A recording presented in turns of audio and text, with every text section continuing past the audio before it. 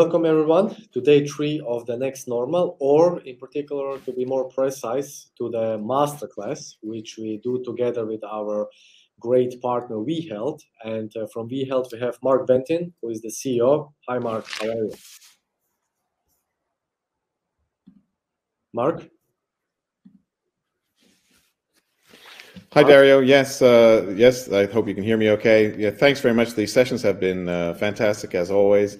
And it's really interesting to see, you know, the coverage is not simply uh, omni-channel or digital across commercial, but now it's commercial, medical, patient data. It's not just the major markets; it's any market. So it really looks like people are are moving beyond the basics, and um, and and I think that's great. Uh, it's really about experimentation, not waiting for perfection, and so we're excited to to uh, to see the the next sessions today, which uh, hopefully are a little bit more about um, uh, tactical and practical uh, topics that you can really take advantage of now um, and affect campaigns and uh, customer engagement over the next few months as uh, while building out the rest of the strategy into 2023. So looking forward to that.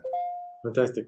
So today we will speak a lot about the new go-to-market strategy, uh, which certainly is a very crucial and hot topic nowadays, uh, since we all see we are going back to some way of normal. And uh, from which sessions do you expect most uh, to hear from today?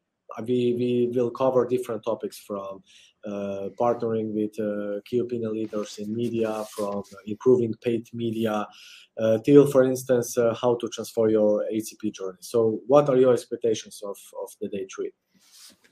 Well, what's interesting is um, across all of them, it's really about trying to coalesce all of these efforts. And so, something that might have been on an island previously, now how do we bring that into the fold and how do we make it part of this overall omni-channel effort?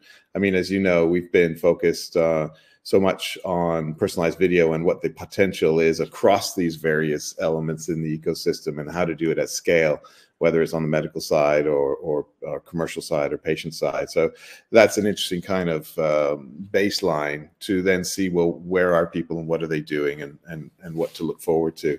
Um, so we're, we're excited to see what, uh, what the current state is, and then also, you know, along the way, see how we can help um, to uh, to bring things a little bit more tactically relevant, as well as generate simply more engagement over the next uh, few months for those uh, for those brands that are looking for it.